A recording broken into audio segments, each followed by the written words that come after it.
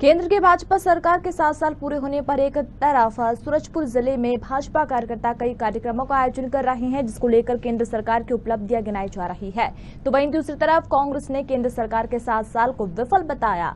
आपको बता दें कि बिलाईगढ़ विधायक और संसदीय सचिव चंद्रदेव राय ने केंद्र की भाजपा सरकार पर निशाना साधते हुए सरकार को एक विफल सरकार बताया।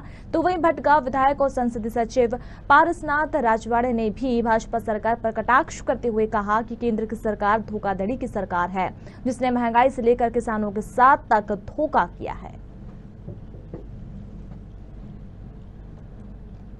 कार्यक्रम जो हमारा है, सेवा ही संगठन के निमित्त कार्यक्रम है। भारतीय जनता पार्टी प्रदेश नेतृत्व ने एक हमको कार्यक्रम दिया है और जो मोदी जी के सात साल जो पूरे हो रहे हैं, उस परिप्रेक्ष्य में ये कार्यक्रम यहाँ आयोजित किया गया और हमारा इकतीस तारीख को सभी भारतीय जनता पार्टी के कार्यकर्ता अपने अपने मतदान केंद्र में कार्यक्रम करेंगे और इकसठ एक सौ जगह हमने अपने प्रभारी और वहाँ के अतिथि तय कर दिए गए हैं। सभी मंडल अपने अपने मंडल में तैयारी चालू कर दिए हैं और इकतीस तारीख को सभी कार्यकर्ता अपने अपने बूथ में सेवाई संगठन के माध्यम से काम करेंगे। भारतीय जनता पार्टी की कथनी और करनी में काफ़ी अंतर है। उसकी नियत और नीति में काफ़ी अंतर है। और हिंदुस्तान के लोग अब समझ चुके हैं।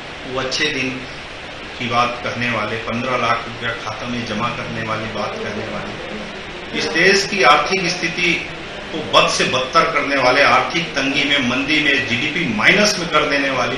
आज ये समझ सकते हैं हिंदुस्तान की जनता आज जो स्थिति में ढकेल दिया गया है, निश्चित ही इससे पीड़ादायक और हो नहीं सकता। भाजपा वाले अपने नाकामी को छुपाने के लिए अपना सफलता बता रहे हैं। कम से कम इन्होंने जो कहा, उस पर अमल रहना चाहिए। आज महँगाई के बात को लेकर सरकार में इन्होंने आया। ये गैस के दाम को इनने डबल कर दिया पेट्रोल सौ पार कर दिया, डीजल सौ के करीब पहुँचा दिया, और अनाज के दाम, तेल, खाने के तेल, सारे चीज़ महँगा हो गए, खाद का दाम दो गुना हो गया।